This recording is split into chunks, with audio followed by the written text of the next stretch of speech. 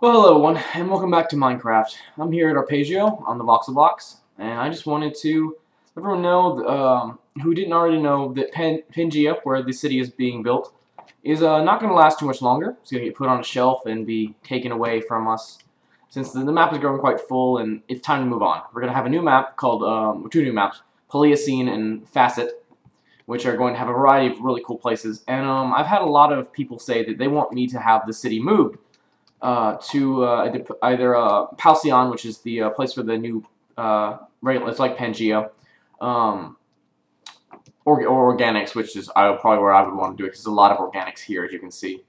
Also, this is a Rancho, finally got built in the city. But yes, uh, so I wanted to get people's permission from here as well, permission, um, advice, not advice, or not really advice, I guess opinions, there we go, thinking of the wrong word. I'd like to get their opinions on this, and uh, so if you could be really cool about it and post in the comments on this vid uh, whether or not you want to see this city uh, brought over to the new map so it can be expanded and made even more awesome than it already is. So far I've had several people say they want to see it, and I just haven't been sure. And I, so I, I kind of want to do it, but I've got ideas for other cities I want to build as well. So I, I really want everyone's opinions on this, and even if you don't normally watch the videos, or you, if you don't really comment, or you, you do watch me, you don't really comment, please take a, take a chance to really help me out here.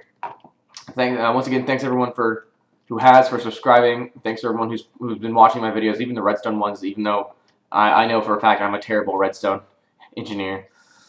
Uh, so thanks, guys. Um, that's really all I got to say for now. I just wanted to get that out there. Um, yeah.